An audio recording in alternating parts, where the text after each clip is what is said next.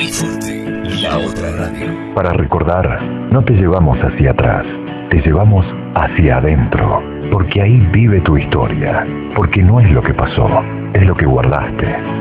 Y ni hablar de recordar expresiones como hasta la vista baby, de acá o adianchi, adianchi.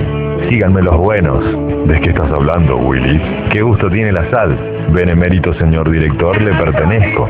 Fue sin querer queriendo, no hay problema. Un corte, una quebrada y enseguida volvemos. Yo me quiero casar y usted y tantos, tantos, tantos queribles personajes que se te grabaron a fondo. Nosotros que somos anteriores a los microondas, los lentes de contacto, donde no había internet, celulares, ni calentamiento global. Una época en que dejabas a tu novia por carta, cuando se bailaban lentos, se jugaba la botella, a ver la consecuencia, cuando pasábamos una semana arañando las paredes para ir a una matiné, donde había reservados, donde se chapaba, se transaba o se hacía el amor. Un momento cuando las mañanas se llenaban de guardapolvos blancos, en donde pedías en la radio 1800 veces el mismo tema, porque en ese momento no había Ares y los discos eran carísimos, porque bailabas con Benny Raquel, te enamorabas con Te quiero tanto de Perales, te abrazabas al himno de los enanitos verdes te emocionabas con Tirá para arriba de Miguel Mateos.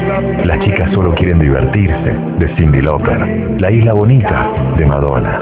César Banana Porredón, Michael Jackson, Joe Cocker y tantos grosos más que musicalizaban tu vida, porque no te imaginabas la vida sin música.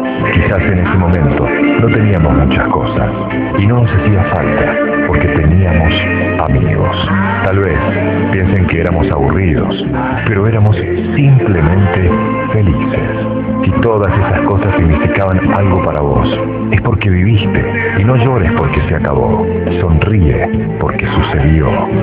Por eso hoy, deja que la música te haga recordar, porque las épocas quizás no vuelvan, pero siempre están tus recuerdos. Pensalo, vivilo, recordalo. Uniforte, la otra radio.